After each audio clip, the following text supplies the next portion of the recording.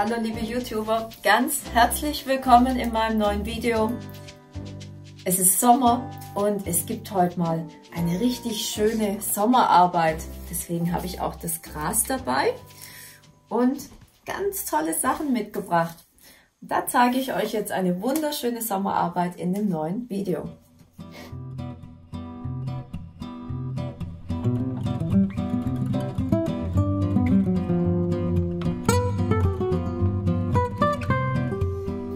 Ich habe hier ganz tolle Materialien, sommerliche Blüten, Gräser.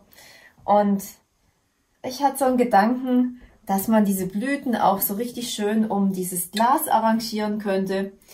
Und ich fange jetzt einfach mal an, was soll ich lang reden, weil ich habe heute dieses wunderschöne, knackige, saftige Gras geschnitten ähm, und dachte mir, Gras ist ja immer, ist immer toll. Selbst wenn aus Gras Heu wird, dann ist es immer noch sehr schön. Ich habe mir einen 2 mm Aludraht genommen, ja, habe den abgeschnitten. Draht immer mit der Drahtschere schneiden und Aludraht lässt sich natürlich so wunderbar biegen. Ist also eine ganz tolle Sache.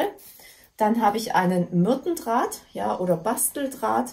Und ich finde das natürlich auch schön, weil ihr seht im Hintergrund, passend zu mir. Hm. Ähm, ihr seht im Hintergrund, dass ich das Thema Rosé natürlich auch aufgreifen möchte. Und deswegen habe ich auch den roséfarbenen Myrtendraht gewählt. Und von dem Gras kann man ruhig dann mal so eine schöne, satte Handvoll greifen. Und wenn man anfängt mit dem Draht zu arbeiten, dann ein paar Mal umwickeln, einfach das Ende nehmen und den Anfang miteinander verdrehen und schon ist hier die erste Fixierung von dem Gras, ja, ist dann geschaffen. Und ich nehme einfach Gras, ich lege das auch ruhig relativ dick an, ja, weil aus Gras wird ja später, wie gesagt, Heu. Und das äh, schnurgelt so ein bisschen zusammen. Deswegen also schön feste wickeln. Es dürfen ruhig auch ein paar Schnipsel noch rausgucken. Ja, es ist ja lässig, es ist Sommer und dieses frische Grün das lässt also jede, ja, jeden Tisch, jede Tafel so erstrahlen. Ich finde es ähm, total wunder, wunderschön. Man sieht, es geht auch ganz fix und es soll auch gar nicht so akkurat sein, ja, sondern es soll so eine sommerliche Lässigkeit ausstrahlen. Und so, dann habe ich eigentlich schon mal hier, man kann das ja, jeder kann ja selber wählen, wie ordentlich oder unordentlich das sein soll. Die langen Stücke, die kann man einfach mal abschneiden so, und ja, und, dann würde ich jetzt mal, mache ich mal eine kleine Anprobe. Ich habe mir jetzt also hier ein Glas genommen, das so einen schönen Hals hat. Das ist natürlich perfekt für meine Idee und für meine Arbeit. Gibt es eine kleine Anprobe. So, meine Idee ist, dieses Gras um diesen äh, Vasenhals einfach rumzumachen. Und ja, man sieht, ich habe das fast ein bisschen knapp genommen, aber es wird gerade so reichen, um den Aludraht hier drumherum zu machen. Ich verschließe jetzt erstmal meine, ja, mein, mein Basteldraht, äh, mache eine Schlaufe mit dem Finger und gehe wieder in die andere Richtung zurück und kann dann den Draht, die Schlaufe und den Draht miteinander verdrehen. Gibt es in ganz vielen Videos von mir. Äh, ich erzähle es immer wieder, weil ich werde natürlich auch in Workshops, hat jeder dann, ich habe es vorgemacht, und dann haben sie danach gesagt, ey Margit, wie geht das nochmal? ja, Workshops ist irgendwie lange her, aber die Erinnerung ist natürlich noch da. So, ich wollte heute ein sommerliches Windlicht mit Blumen machen. Und damit das auch blumig wird und ein Windlicht, brauche ich ja brauche ich auch Wasser für meine Blumen. Ich habe Reagenzgläser genommen. Und diese Reagenzgläser, äh, die mache ich mit einem papierummantelten Draht. Also das Schöne ist, die Reagenzgläser haben oben diese Wölbung, ja, und die mache ich mit einem papierummantelten Draht. Möchte ich die gerne so, dann mache ich jetzt so eine schöne feste Schnürung. Also ich habe es nicht, ich habe es nicht probiert vorab, falls ihr das äh, denkt, sondern ich habe dann immer so eine Idee und ich, ich mache einfach. Und ich bin selber manchmal gespannt, wie das Ergebnis ist, aber ich nehme die Röhrchen und mache das, ja, leg, leg das um die, leg den papierummantelten Draht um meinen Grasring. Und ich würde sagen, wenn ich das jetzt so, äh, so, ja, wenn ich das jetzt hier so dran mache, das hängt, genau, klong. ja, es hängt auf jeden Fall. Und da mir natürlich ein Röhrchen zu wenig ist, machen wir ja auch drei Röhrchen, weil die können wir so ein bisschen lustig, verschieden bunt bestücken. Und der papierummantelte Draht ist natürlich auch nochmal ein sehr, sehr schönes gestalterisches Element, weil der bringt auch nochmal die rosa Farbe. Ich blende euch die ganzen Artikel mal ein, weil die bekommt ihr natürlich alle, wie so oft, auf Floristik24. Und da gibt es auch wirklich tolle Sachen und auch alles, was ihr braucht, um so, so toll gestalten zu können. So ein bisschen aufpassen muss man auch, dass man nicht, das ist natürlich aus Glas, nicht, dass man das Glas kaputt macht gleich beim Arbeiten. So, die Enden kann ich auch abschneiden von dem papierummantelten Draht. Die will ich eigentlich nicht mehr sehen. So. Dann habe ich jetzt schon mal hier zwei Röhrchen reingehängt. Und ich würde zuerst die Röhrchen dranhängen und dann erst verschließe ich. So, gehe ich her, suche meinen Aludraht. Also den Aludraht auf jeden Fall lang genug machen. Ja, weil man sieht jetzt auch bei mir, das hat jetzt gerade noch geklappt mit der Überschneidung, aber da hat jetzt nicht viel gefehlt und dann hätte es nicht gereicht. Und beim Anprobieren dachte ich, oh, locker, ja, da war noch so ein Stück übrig. Es ist jetzt nicht mehr übrig. Und wenn ihr dann zum Beispiel sagt, ja, ich hätte es noch ein bisschen äh, enger dran machen können, aber es sitzt auch so gut. Ja, Moment, noch ein bisschen dran drücken.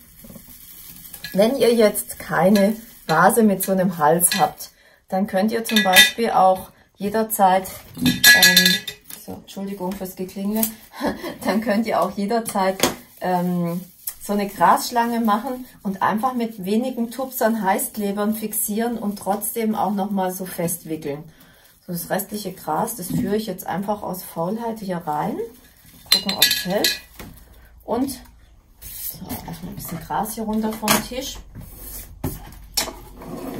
Das lässt sich jetzt natürlich alles ganz akkurat noch schneiden und ihr könnt wählen, wie wild oder akkurat ihr das haben wollt. So, es fehlt jetzt noch ein bisschen Schwerkraft. Wie geben wir den Röhrchen? Indem ich einfach Wasser einfülle. Selbst die Gießkanne passt zum Video. Das ist jetzt aber echt Zufall. So. Und das Wasser lässt sich natürlich am besten entweder mit einer mit so einer feinen Gießkanne, wenn man äh, eine größere hat, ist ein bisschen schwieriger. So, ich drehe meine Röhrchen noch ein bisschen dass ich die, genau, dass die schön nach unten gehen. Und jetzt kommt wieder, jetzt nehme ich äh, ein feines, ein, ein, scharfes Messer. So. Oh, man sieht, der Wasserstand steigt ganz schnell. Wenn ich, äh, sobald ich Blüten einstelle, mit diesen dicken Stielen, steigt der Wasserstand an und ruckzuck, ruckzuck ist das Röhrchen voll. Und das ist jetzt natürlich wieder so eine richtige Sommer, äh, Sommerarbeit. Das macht es auch schön, wenn da so, also es muss gar nicht so streng sein. Ähm, ich nehme Röschen, ich nehme auch eine, eine lässige Eustoma. Ja, hier diese rosa Eustoma mit ihren schönen Knospen. Und gebe allen Blüten, bevor ich sie einstelle, einen schrägen Anschnitt. Und habe dieses dieses spielerische, ja, es ist so ein bisschen wie ein Tanz, ein Tanz in einer Sommerwiese. Dieses spielerische ist natürlich ganz toll. So, und das zweite, da nehmen wir jetzt mal, nehmen wir zum Beispiel Rosen. Rosen sind, ja, ich, ich habe es fast zu kurz geschnitten. Also immer aufpassen, nie, eigentlich nie so kurz schneiden. Das war jetzt von mir fast ein Fehler. Ähm, lieber mal länger lassen, anprobieren und dann erst, äh, und dann erst schneiden. Also nicht, nicht zu schnell schneiden, weil abgeschnitten ist es natürlich schnell, aber verlängern kann man nicht. Ähm, ich habe jetzt hier die Alchemilla genau so geschnitten, dass ich ein Stiel mit dem Blatt habe, weil das Blatt ist natürlich ein richtig schönes gestalterisches Element. Alchemilla-Blätter halten ganz toll und jetzt ist wieder Sommerzeit, jetzt ist Alchemilla-Zeit und, und, dann äh, macht es ja immer so, so eine spielerische, tolle Note und was auch, was auch immer schön ist und was ich wirklich liebe, sind äh, diese, diese schönen, Moment, diese schönen Bartnelken, die also mit diesem, mit diesem tollen Pink und die geben dem Ganzen nochmal so eine richtig schöne, ja, lässige Anmutung. So, und jetzt können eigentlich fast die Gäste kommen, würde ich sagen. Was, was noch fehlt ist jetzt das i-Tüpfelchen und das ist meine Kerze, weil genau die setze ich dann auch, in dieses Windlicht rein. Und wenn dann mit diesen schönen Blüten und der Kerze, wenn das dann alles auf meiner, auf meiner Tafel, auf meiner sommerlichen, so abends, wenn, der, wenn die Kerze fackelt, finde ich, ist das doch eine perfekte Arbeit. Ja, also es ist, äh, wenn man das jetzt so nennt, ich hatte mir über den Titel noch keine Gedanken gemacht, es ist ein sommerliches Windlicht, das ich heute kreiert habe. Und ich glaube, das kann eigentlich jeder relativ leicht nachmachen mit ein paar wenigen Materialien. Und ich hoffe, ihr habt viele Daumen für mich, die nach oben gehen. Ich freue mich total auf eure Kommentare.